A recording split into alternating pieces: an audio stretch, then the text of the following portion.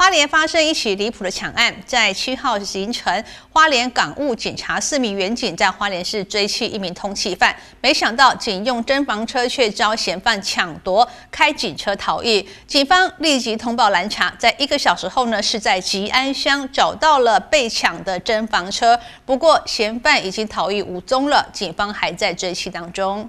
花莲港务警察在六号深夜十二点左右获报，三十九岁刘姓毒品通缉犯疑似在花莲市社区大楼前进行毒品交易。两名刑警到场埋伏后上前搜捕，并通报侦防车支援，将刘贤上铐押送。未料身材瘦小的刘贤趁警方不注意时，从后座扑向前座，把车开走。本总队刑事警察队哦，于昨天六日晚间二三时三十分哦，接获情资啊，通缉犯刘显哦，可能会进行毒品交易了哦，在花莲市区。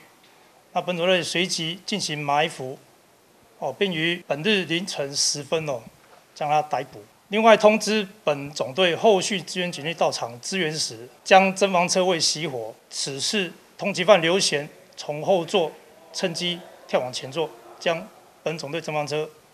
驾驶离去。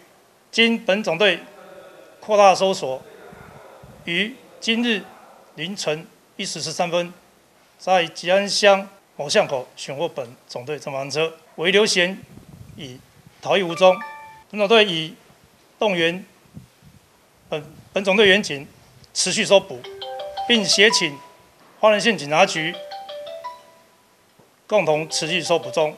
警方随后凌晨一点多在吉安找到了车辆，外观大致没有受到损伤。不过嫌犯已经逃逸无踪，警方估计嫌犯应该是还在辖区内，因此已经扩大警力，全力搜索，要赶紧将嫌犯绳之以法。此外，针对远警疏忽让嫌犯轻松把车开走的事件，也会进行检讨和惩处。据徐立群花莲市报道。